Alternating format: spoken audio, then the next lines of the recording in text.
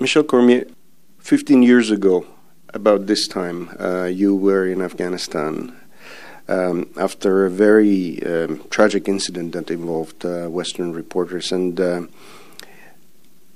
a lot has changed in the way news organizations cover the war. How have you seen these changes, How, both as a reporter on the ground and now as a news manager? Well, before we were just babes in the wood. We didn't know, we weren't aware of the dangers, I think, of the in any way of, of protecting ourselves either from you know ballistic issues or even from from disease or car accidents, and we had no training whatsoever ever in first aid kits, uh, in first aid medicine, or anything. So, I mean, I think Afghanistan changed the way we prepared and covered wars. Uh, for one thing, we were not in the in conventional wars. Now we were part of perceived as part of the enemy.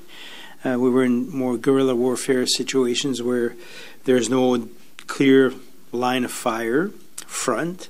So that was different. And secondly, I mean, we've learned that uh, we need to to know how war works, what kind of weapons we're up against, what's the trajectory of bullets, uh, how far they travel, uh, you know, through what they actually move, uh, whether it's a brick wall or you know a car tire. So I think you know we've that was a wake up call for most of journalists at the time.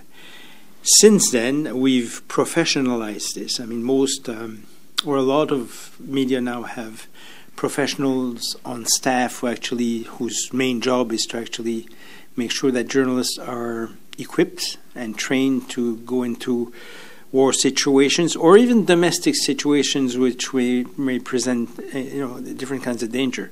So I think that is the big difference now. We've, been, we've become aware and we've taken measures to make sure that the whole thing is professionally um, operated.